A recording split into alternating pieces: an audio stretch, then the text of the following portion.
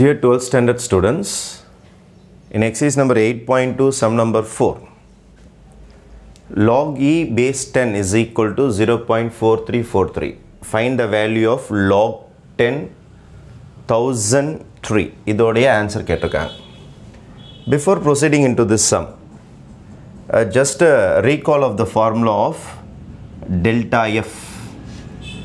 Our delta f is f of x plus delta x minus f of x is the formula for delta f. delta f வேணா f of x plus delta x minus f of x. minus f of x இந்த பக்கம் கொண்டு வந்துருங்க minus f of x is plus f of x அப்போ f of x plus delta x minus delta f minus delta f minus delta f right again and again we are trying to establish that delta f is narrow equal. கிட்டத்தட்ட approximately equal to df delta எஃப்பும் டிஎஃப்பும் different தான். ஆனால் approximately equal delta f is equal to df இந்த concept உங்களுக்கு தெரிஞ்சிருச்சுன்னா this sum will be very very easy இப்போ அவங்க என்ன கேட்டிருக்காங்கன்னா find the value of thousand three base ten அப்படின்னு சொல்லிட்டு கேட்டிருக்கிறாங்க. இப்போ தௌசண்ட் த்ரீ பேஸ் டென் அப்படின்ற ஆன்சர் இதில் எப்படி நம்ம ஃபிக்ஸ் பண்ண போகிறோம் அப்படின்றத நீங்கள் பார்க்கணும். இப்போ இந்த செம்மை பொறுத்த வரைக்கும் ஃபைன் எக்ஸுக்கு பதில் எக்ஸுக்கு பதில் தௌசண்ட் டெல்டா எக்ஸுக்கு பதில் த்ரீ போட்டிங்கன்னா அவங்க கேட்குற கொஷின் ஃபில்ஃபில் ஆகிடும் அப்போ நான் சம் எப்படி ஸ்டார்ட் பண்ண போகிறேன்னா let f of x is equal to log x base 10 log x base 10 இதான் f of x நான் சூஸ் பண்ண போகிறேன் இந்த மாதிரி சூஸ் பண்ணிவிட்டு நான் என்ன செய்ய போகிறேன்னா அவங்க கேட்டுக்கிறது தௌசண்ட் த்ரீ ஆனால் இங்கே தௌசண்ட் த்ரீ போட்டால் எனக்கு ஆன்சர் வராது. டைரெக்டாக தெரியாது. அதனால் I am going to just choose x as thousand and a small increment delta x is three அப்போ இந்த இடத்துல நீங்கள் தௌசண்டையும் த்ரீயும் சப்ஸ்டியூட் பண்ணிங்கன்னு வச்சிங்களேன் you will be getting the பாருங்கள் f of f of thousand plus three வந்துடும் ப்ளஸ் த்ரீ வந்துடும் is approximately equal to f of one zero zero three வந்துடும் இப்போ ஒன் ஜீரோ ஜீரோ த்ரீனா யார் ஆக்சுவலாக லாகிருதம் ஆஃப் எக்ஸ் என்றால் எக்ஸ் என்றால் லாக் எக்ஸ் பேஸ் டென் அப்போ எக்ஸுக்கு பதில் உங்களுக்கு தௌசண்ட் த்ரீ வந்துக்குது எஃப்க்கு பதில். இப்போ f of one zero three is also called as log base ten one zero zero three அப்போ ஆன்சர் வந்துடும் இதை கண்டுபிடிச்சிடலாம் ஈஸியாக அப்போ உங்களுடைய டார்கெட் டிஎஃப் கண்டுபிடிக்கணும் உங்களோட டார்கெட் எஃப் ஆஃப் எக்ஸ் கண்டுபிடிக்கணும். இதான் இந்த சம்முடைய கான்செப்ட் என்ன செய்ய போகிறேன்றதை சொல்லிடுறேன். உங்களுடைய டிஃப்ரென்ஷியல் டெல்டா எஃபோடைய ஃபார்முலா தெரிஞ்சிடணும். அந்த ஃபார்முலாவில் ஒரு ரீப்ளேஸ்மெண்ட் பண்ணுறேன் டெல்டா எஃப்க்கு பதில் டிஎஃப் ஏன்னா இதில் டெல்டா எஃப் கண்டுபிடிக்க முடியாது உங்களால். அதனால் டிஎஃப் போடுறேன் நான். டிஎஃப் போட்டுட்டு யார் எக்ஸ் யார் டெல்டா எக்ஸ்னு மைண்டில் ஃபிக்ஸ் பண்ணணும் நீங்கள் அப்போ தான் சம் ப்ரொசீட் பண்ண முடியும். நம்மளுக்கு தௌசண்ட் த்ரீ வேணும். தௌசண்ட் ப்ளஸ் த்ரீன்னு ஒரு இன்க்ரிமெண்ட் போட்டுக்கிறேன். அப்போ டெல்டானா ஒரு small increment compared to thousand three is very very small அதனால் தௌசண்ட் ப்ளஸ் த்ரீன்னு போட்டுட்டு அப்போ தௌசண்ட் த்ரீ பக்கவாக செட் ஆகிடுச்சு பாருங்க. F of thousand three is called log thousand three by ten ஏன்னா எக்ஸ்னா இங்கே எக்ஸ் வரும் இங்கே தௌசண்ட் த்ரீனா இங்கே தௌசண்ட் த்ரீ வரும். அப்போ உங்களோட டார்கெட் என்னது எஃப் ஆஃப் எக்ஸ் கண்டுபிடிக்கணும் டிஎஃப் கண்டுபிடிக்கணும். Fine first I will find f of x f of x f of x is equal to logarithm of x base ten நானே எடுத்துக்கிட்டேன். எனக்கு தௌசண்ட் வச்சு வேணும். ஏன்னா எக்ஸை நம்ம என்னென்னு சூஸ் பண்ணியிருக்கோம். தௌசண்ட் அப்போது இந்த இடம் எனக்கு என்ன வேணும்னா எஃப் ஆஃப் தௌசண்ட் தான் வேணும். எக்ஸுக்கு பதில் ஐ ஹவ் சூசன் தௌசண்ட் எக்ஸுக்கு பதில் தௌசண்ட் சூஸ் பண்ணியிருக்கேன் அப்போது எஃப் ஆஃப் தௌசண்ட் நான் கண்டுபிடிச்சிடுறேன். அப்போ எனக்கு ஒரு பெரிய வேலை முடிஞ்சிடும். F of thousand base ten this can be written as f of ten cube base ten power three முன்னாடி இறக்கிடலாமா? அப்போ three log ten base ten log ten ten வந்து ஆன்சர் ஒன் ஆகிடும் இப்போ three into one answer is three இவர் ready இவர் ready இவரை கண்டுபிடிச்சி முடிச்சாச்சு. இன்னும் ஒரே ஒரு ஒர்க்கு தான் இருக்குது. யாரை கண்டுபிடிக்கணும்? டிஃப்ரென்ஷியல்ஸ் டிஎஃப் கண்டுபிடிக்கணும். What is the rule for df df உடைய rule is f dash x கண்டுபிடிச்சிட்டு கூட டிஎக்ஸ் மல்டிப்ளை பண்ணணும்.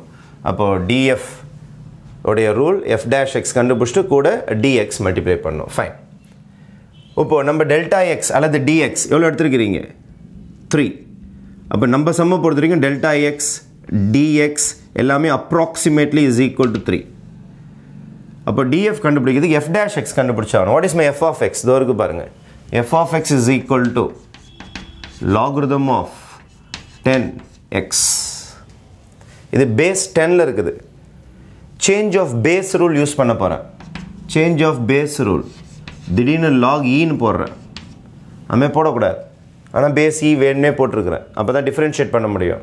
இங்கே இ e போட்டிங்கன்னா சேஞ்ச் ஆஃப் பேஸ் ரூல் என்ன ஆகிடும்னா இங்கே இ e ஆகிடும் கீழே டென் வந்துடும் இது ரெண்டும் உங்களுக்கு கேன்சல் ஆன மாதிரி இருக்கும். எக்ஸ் டென்னே தான் வரும். இது பேர் சேஞ்ச் ஆஃப் பேஸ் ரூல் இப்போ this is a constant e is a constant ten is a constant அப்போ log e base ten is a constant இதை மட்டும் நீங்கள் டிஃப்ரென்ஷியேட் பண்ணால் போதும். அப்போ f dash x is equal to லாகை differentiate பண்ணால் one by X இது அப்படியே தான் இருக்கும். யார்? Log ten log e to the base ten log e to the base டென்னோட value தான் கொடுத்துருக்காங்களே எவ்வளோ?